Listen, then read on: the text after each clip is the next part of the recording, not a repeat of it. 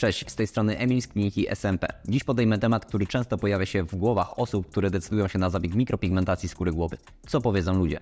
Wiele osób zastanawia się, czy ktoś to zauważy i jak zareaguje nasze otoczenie.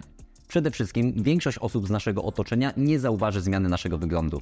Efekt mikropigmentacji jest bardzo naturalny i wprowadza subtelną, ale bardzo korzystną zmianę.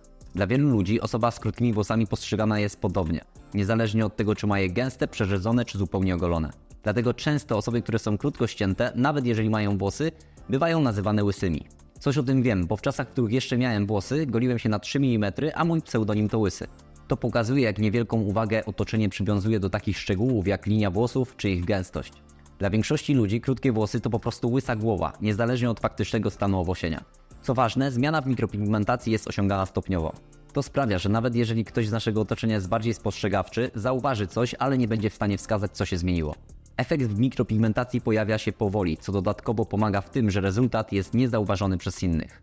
Mikropigmentacja jest zawsze indywidualnie dostosowywana do danej osoby. Wykonując zabieg bierzemy pod uwagę kształt głowy, rysy twarzy, mimikę, dawną linię włosów. Dzięki temu rezultat idealnie współgra z swoim wyglądem, co dodatkowo sprawia, że otoczenie nie wychwytuje zmiany. Z mojego własnego doświadczenia mogę powiedzieć, że wykonując zabieg byłem przekonany, że wszyscy w moim otoczeniu to zauważą. Wtedy było to dla mnie zupełnie niezrozumiałe, nie mogłem pojąć dlaczego nikt nie dostrzega tej zmiany.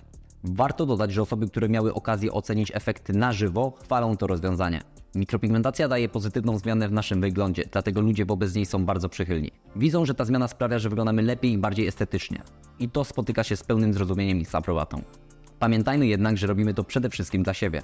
Mikropigmentacja to coś, co nie tylko poprawia nasz wygląd, ale również nasze samopoczucie. Daje nam pewność siebie, komfort psychiczny i sprawia, że czujemy się lepiej we własnej skórze. To jest najważniejsze. Nie to, czy ktoś to zauważy, ale to, jak ty się czujesz po zabiegu.